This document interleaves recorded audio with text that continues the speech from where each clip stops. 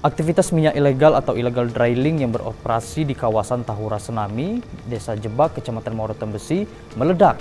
Akibatnya seorang pekerja tewas disambar api yang membakar sumur.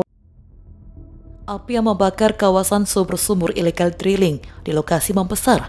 Tahura Senami yang menjadi lokasi aktivitas ilegal drilling. Sedikitnya merusak 10 hektar lahan Tahura akibat kobaran api yang masih menyala.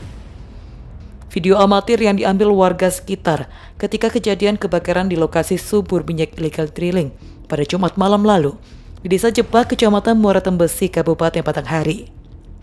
Akibat dari kejadian itu, seorang pekerja berinisial D pun ikut terbakar dan meninggal dunia.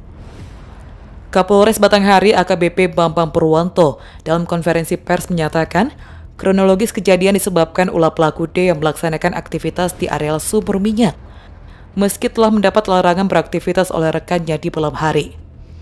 Naas ketika menyalakan genset, memicu percikan api hingga menyampar seluruh sumur minyak ilegal yang berada di sekitar.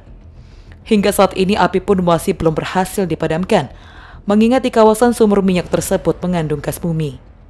Inisial D meninggal dunia, inisial S dan inisial E.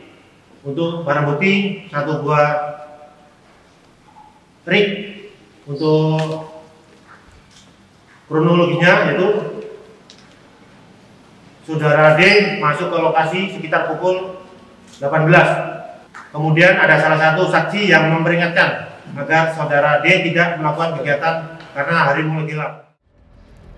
Dari kejadian tersebut, polisi telah menetapkan dua tersangka lainnya berinisial S dan E yang merupakan pekerja illegal drilling. Tersangka ini pun akan disanggahkan dengan pasal 52 Undang-Undang Nomor 22 Tahun 2021 tentang minyak dan gas bumi dengan ancaman penjara 6 tahun penjara dan denda maksimal 60 miliar rupiah. Selamat Riyadi, Cek TV, melaporkan.